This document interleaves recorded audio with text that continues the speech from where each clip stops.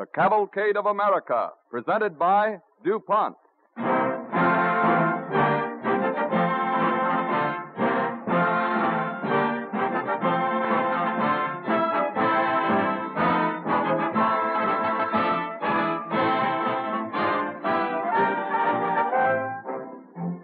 This evening, the DuPont Cavalcade brings you the story of the colonization of California, which was the work of a Franciscan friar, Junipero Serra. Our story of chemistry at the close of the program also takes you to California to tell you how a DuPont plant in the heart of the citrus fruit district helps make it possible for you to have the orange juice you enjoy at breakfast. If you've ever traveled past beautiful orange and lemon groves, you may have seen some things that look like balloons among the rows of trees. They really aren't balloons at all. As you'll hear a little later, they're life saving devices for the valuable citrus crop, and another good example of better things for better living through chemistry.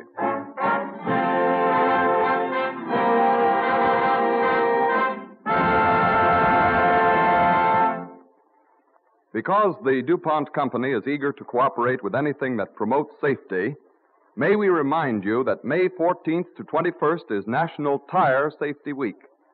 Motorists are urged to help reduce accidents by replacing worn and unsafe tires with new, safe ones. And now, as an overture, Don Voorhees and the DuPont Cavalcade Orchestra play In a Monastery Garden.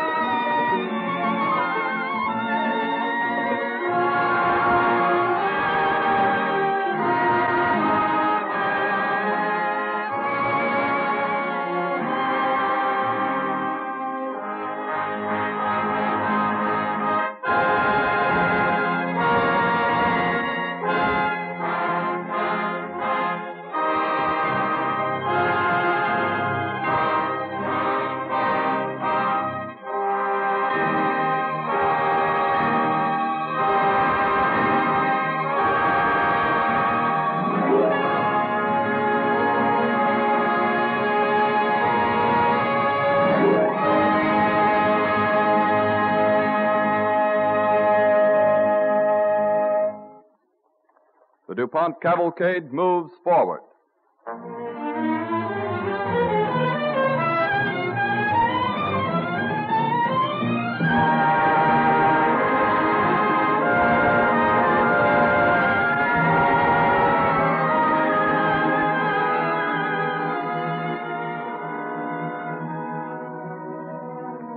Off the coast of Spain, in the classic serenity of the Balearic Islands, Miguel Jose Serra was born November 24, 1713, at Petra, Majorca.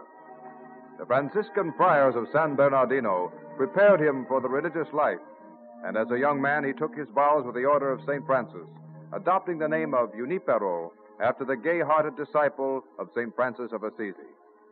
In 1749, Fra Junipero Serra prays with his aged Franciscan confessor in a monastery sheltered in the towers and twilight of old Madrid as the Angelus bells chime over the city.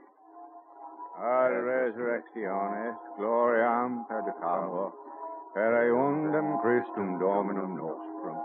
Amen. And uh, now, as we were saying, my son, are you sure this plan is for the best? I have always wanted to go to New Spain and continue my apostolic labors in the missionary field, Padre. You are one of our order's leading professors, my son. A less proficient scholar might make a good missionary. But your acute mind is needed at the university. Padre, there are so many to do great things in the old world, and so few to do them in the new one. Uh, The natives of New Spain are our brothers. They need the light of education and truth as well as our people here. eh, that cannot be denied. Well, you've decided wisely, my son. But tell me truly, Junipero, is it pure zeal for souls? Sometimes I suspect there is another zeal concerned, the zeal for adventure. Well, are not missionaries men of adventure, Padre? Eager to go forth to battle for Battle? Franciscans are men of peace. But you did not let me finish, Padre. I mean the battle for understanding. Uh, the message of Christianity should be carried even to the wastelands of the earth. I know that you are right, my son. But the loneliness, how will you endure it? You who have so many attainments, your books, your music. That is something I must accept, Padre. Uh, uh, enter. Francisco. Junipero. No one told me you were here. This is Francisco Paolo, Padre. My son. He studied under me at the university. We've been friends ever since. Why are you here in Madrid, Francisco? I came to tell the Padre something I had not meant you to hear yes, yet. I will go then. Stay. You'll learn sooner or later. I'm going to work in the missionary field of New Spain. The prior just told me. Excellent. That's wonderful news. I didn't expect you'd be overjoyed. After all, it means I won't see you again. You'd better tell him, Junipero. Well, what's all this? We're going to New Spain together, Francisco. You see, I too am going to be a missionary in the New World.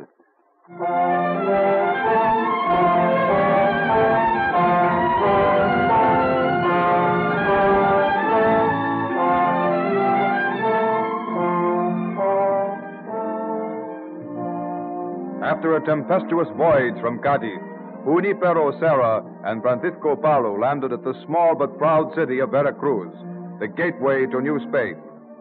Serra traveled on foot inland to Mexico City. On the way, the sudden strike of a reptile crippled his leg, and he hobbled painfully into the lavish city of the Aztec civilization, then glittering with opulence and power. After working in the Sierra Gorda missions, where the natives came to idolize him, Junipero Serra traveled back to Mexico City, fired with a zealous dream. He stands before Carlos Francisco de Croix, the Viceroy of New Spain. Be seated, Padre. It is not good for you to stand with your afflicted leg. Thank you, Your Excellency. You probably don't know these gentlemen. Don Pedro Fages, My son. Gaspar de Portola. Padre. What is it you wish to see me about, Padre? Is it about the Peninsula missions? Your presidency of the Mexican missions has been well administered. For many years, I've labored in Mexico, Your Excellency. Now I would like to go to Alta California. California? As a matter of fact, Padre, His Gracious Majesty Charles III has commissioned me to conquer California in the name of Spain. Only this morning, Jose de Galvez, the Inspector General, and I discussed the matter. A military conquest, Your Excellency? That would involve grave complications. There are certain petty aspects, wholly inconsiderable, of course. The complications following a military conquest are far from petty. What does the Padre mean by that? Where a military rule is established, the natives vanish. Then, where are Spain's subjects? Simply, there are no subjects. Therefore, what is the good of annexation? I have heard, Padre, that you were a professor of philosophy at one time. I have also heard that logic belongs to the classroom. Permit me to say in that event, sir, that your hearing is somewhat defective. Logic is reason, and reason must rule our minds. Padre, a soldier like myself knows only one kind of logic that of the sword. Obviously, you have a point, Padre. What is it? Your Excellency, if your annexation of California is to have a permanent effect, conquest must be tempered with reason. Reason? The reasonability of civilizing the natives, the reasonability of lighting the lamp of Christian teaching and ideals in this land. You have a plan how this can be done, of course. I can establish missions for that purpose. That is an excellent idea, Padre. Together with the land expedition, we are dispatching a supply ship to meet the force in San Diego. And then a military conquest in the name of Spain. Uh, which one of these gentlemen is to command the soldiers, Your Excellency? Uh, Don Fages. And my friend Portola, however, is to supervise the expedition. And, Padre, we desire that you accompany the expedition, too. Well, Portola, we'll have Christian idealism with us on this expedition. Your Excellency, let me make this clear. If you authorize this venture, Don Fages is only to command his soldiers. The missions that I hope to establish will be under my authority. Too often the soldiers have undone the good work of the padres. Have your way, Padre. But before we're through, you'll be glad enough of the sight of a Spanish uniform. I'll swear that. I have done now, Don Fages. But, Padre, what about your leg? Your Excellency, I am 56 years old, and it's true, I'm a cripple. Many men would think it time to look back, perhaps, and dream of the past. But my life is only just beginning. It lies in California.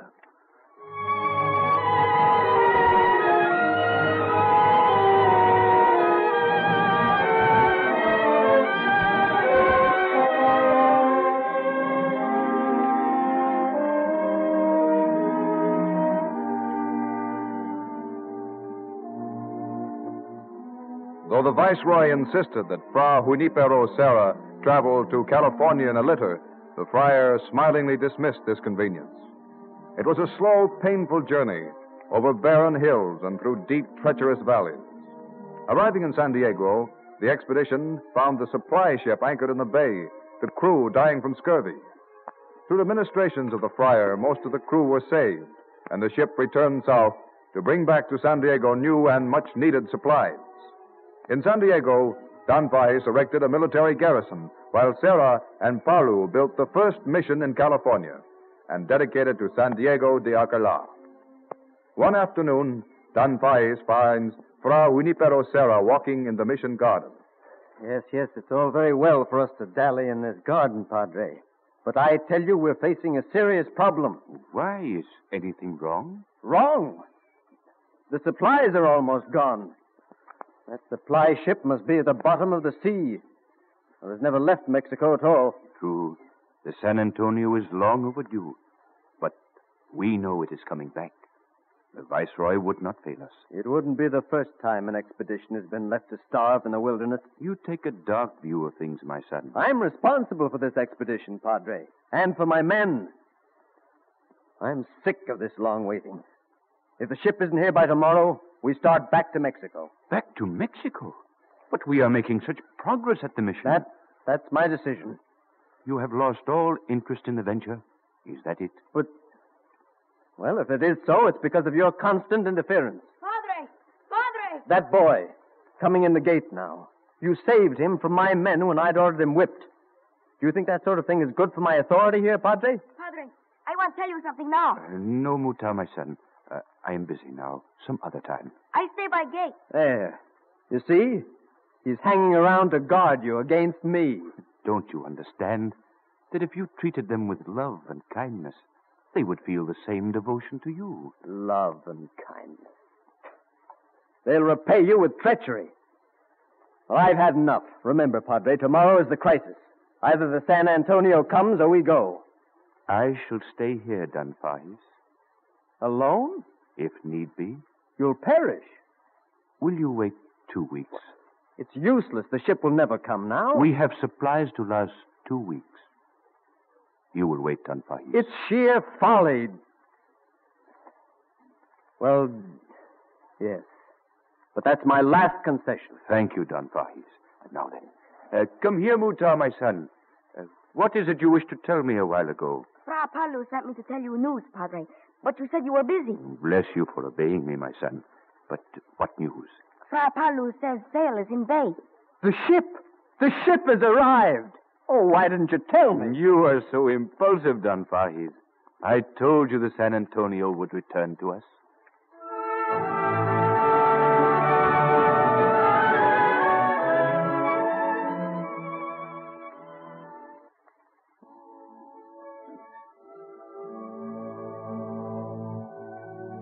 The next year, San Diego flourished. Leaving Palou there in charge, Serra and Don Fages led an expedition north to the beautiful Monterey Peninsula, where Serra established the graceful San Carlos mission, and Don Fages built another garrison. But here, the brutality of the homesick, discontented soldiers caused an uprising among the Indians and an attack on the garrison. Don Fages comes to Serra's little cell at the mission. My men are having trouble holding those dogs back, Padre. You alone can help us. What would you have me do? Well, the Shastas have come to the mission courtyard. You tell them that they must submit to the white man's rule. They believe anything from you. You know why they rebelled, don't you? The brutality of your men. That's the whole cause of the trouble. What are you prepared to do about that? Padre, our very lives are threatened, and you quibble over such matters. You ask my help. No sooner do I gain the trust of these innocents than you betray it.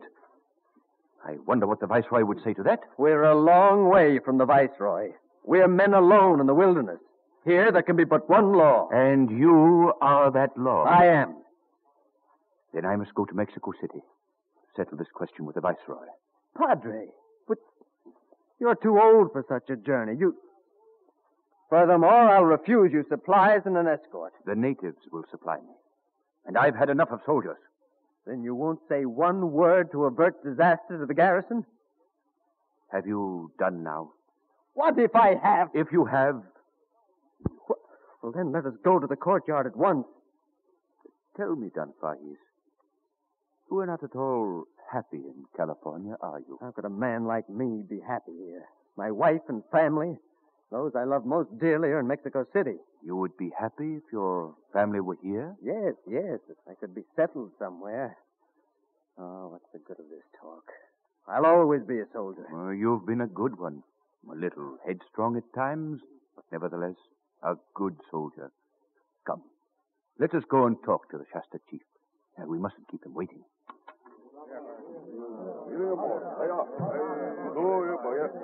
Pasca, my son. What is your trouble? That's no way to talk Be to them. silent, please. It is my way. Come, Pasca. Tell me why you and your braves resist us. Don Fages send soldiers into camp. We've got to have a military rule in the Californias.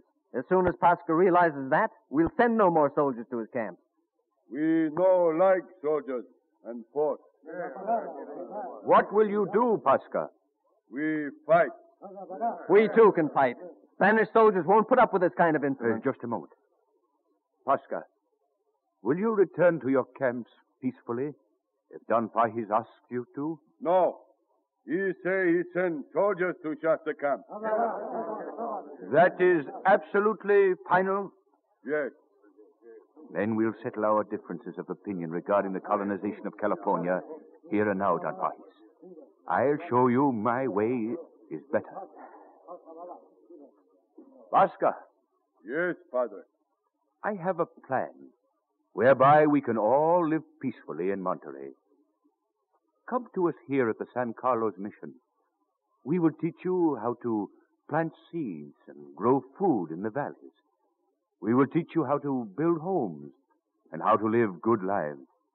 No soldiers? No one but the Franciscan friars at the mission. They will never speak a harsh syllable to you. Allah, Padre, Shasta.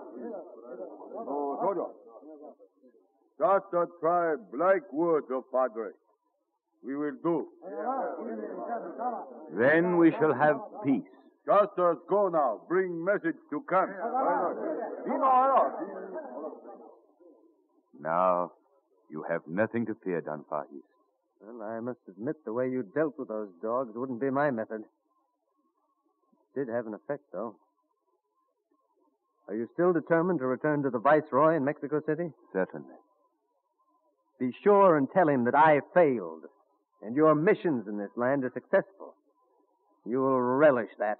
When the moon is full tonight, Palou and I start southward on foot. Why must you always be upset about something, Don Fages? Don't worry. You see, well, don't worry.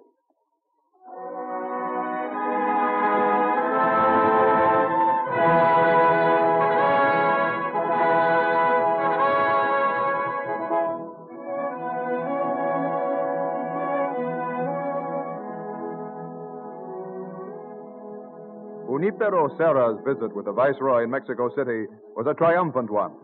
But when adulations were showered on the aged friar, he began planning to return to California, to the missionary settlements at Santa Clara, San Buenaventura, Santa Barbara, and the Mission Dolores. Thus were the seeds of civilization sown on our western coast. Several months pass. It is a soft spring evening when the two old friars, Serra and Palou, return to Monterey. And the mission courtyard at San Carlos is filled with joyful settlers and natives. Welcome back, Padres. It's good to see you again. Thank you, Don Fages. My friend Paulo and I, little Muta, have looked forward to this homecoming for many, many months. Shall we proceed to the mission church? Your congregation is waiting to greet you. Yes, I'll go ahead, Serra. Come, Muta. Yes, Padre. I'm glad I made the journey, Don Fages. Throughout California, I saw thriving mission settlements and great cultivated valleys. My years of labor in this land have not been in vain. We have a peaceful civilization, How is Mexico City? as graceful and proud as ever. Did you see the Viceroy? The Viceroy is a very astute man. We uh, discussed your case thoroughly, Don Fages. I don't doubt it. Well, Padre, you've had your way. You've won and I've lost. The Viceroy will probably dismiss me in disgrace. The Viceroy gave me this letter to you. Here, Thank you. uh, read it before we go inside. But. Well, I can't believe it. The Viceroy has made me governor of California. Precisely. And your wife and your family are coming to live with you in the governor's palace. Whether this is your work or not, Padre, I, I don't deserve this appointment after the way I've opposed you. Now I know why you're named Junipero. Yes? Junipero. The friar who even gave his cloak to a thief who robbed him of his sandals, thinking the poor fellow needed it. A man who heaped coals of fire on his adversary's head, as you've done to me. Ah, the mission bells and the singing. It is a good omen to hear them in the valleys of California, Don Fages. A sign of happiness and peace. Come, let us go in the church together. Give me your hand.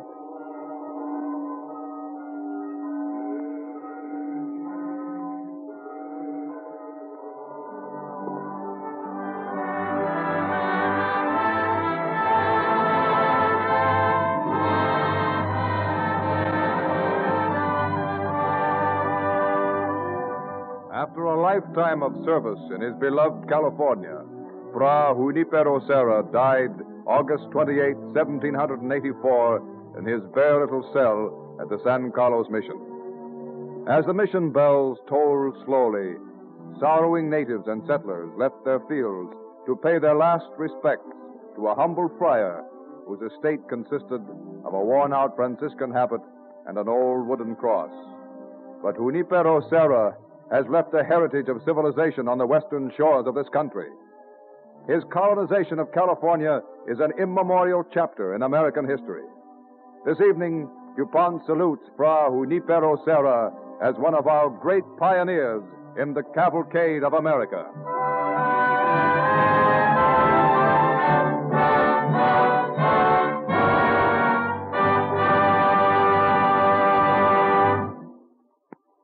Following colonization came cultivation and crops, and inevitably insect pests. You've often heard of Japanese beetles, potato bugs, and locusts. But have you ever heard of scale? This pest, called scale, is an insect which constantly threatens trees bearing citrus fruit such as oranges and lemons, grapefruit, limes, and even avocados or alligator pears. But chemists have developed a way to combat the scale insect, and that is why the DuPont Company has a plant located at El Monte, a pretty little town in the midst of Southern California's citrus fruit district at the foot of the Sierra Madre Mountains. The reason DuPont maintains a plant there may be seen all around Southern California. Throughout the region are citrus and avocado groves laden with beautiful fruit. These trees are mighty important to California because oranges and lemons alone have a value of around $70 million each year. So you can see the groves that produce them are extremely valuable properties. But it's no cinch to grow such fruits and one thing that makes it difficult is that insect pest called scale. These tiny insects aren't as dramatic as grasshoppers or locusts. They don't get into the newsreel movies, but they're awfully tough enemies just the same. The scale is a sucking insect. Unless controlled, scale spoils the appearance and quality of the fruit, weakens the trees, and finally may kill them. But chemistry solved this problem with a product that's sure death to scale insects. It's called hydrocyanic acid, sold by DuPont under the trademark HydroCy. And that's what is made in the up-to-date little plant at El Monte. The method of use is fumigation. The trees are covered with a canvas cloth in tent fashion. They look something like balloons. Then the HydroCy is introduced under the tent as a warm gas, where it quickly diffuses to all parts of the tented tree and kills the scale insect. After fumigation, when the tent is removed, the HydroCy completely disappears, leaving the fruit and trees in perfect condition. The California fruit grower may thank chemistry for discovering a way to beat these insect enemies. And next time you drink a glass of orange juice or enjoy a nice piece of lemon pie, you too may give a thought to the chemist's contribution. Thus, we have one more example of how the DuPont Company is helping to provide better things for better living through chemistry.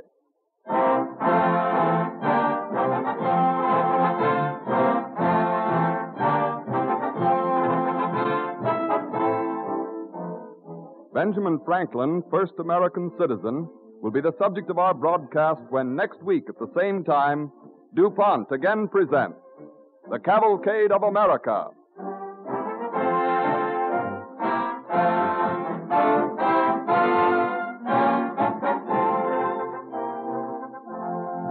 This is the Columbia Broadcasting System.